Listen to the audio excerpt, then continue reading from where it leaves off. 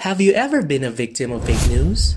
Or worse, become a propagator, whether with or without the intentions? Well, worry no more because we will overcome it and actually do something about it.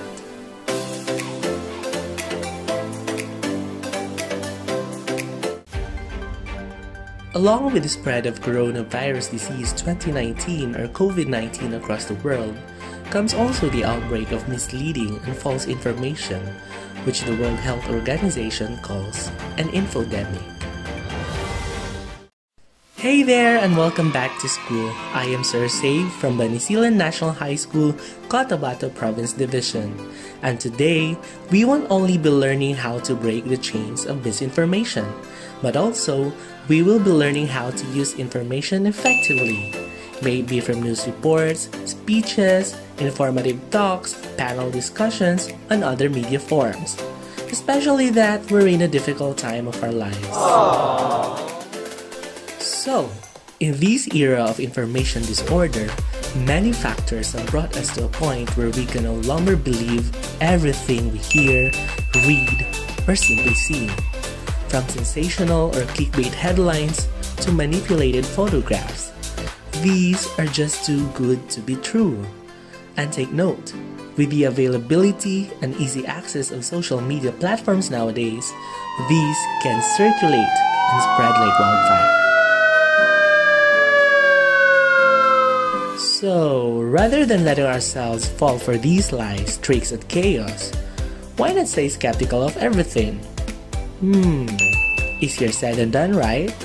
But how do we really integrate the information from sources into our knowledge base and communicate it with others effectively?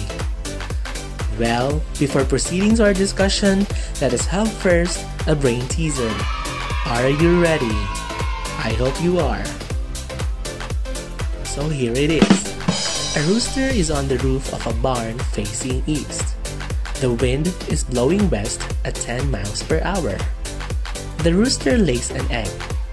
Now, which direction does the egg roll? Think it over. The answer? There is no egg. The rooster didn't lay one because roosters are male.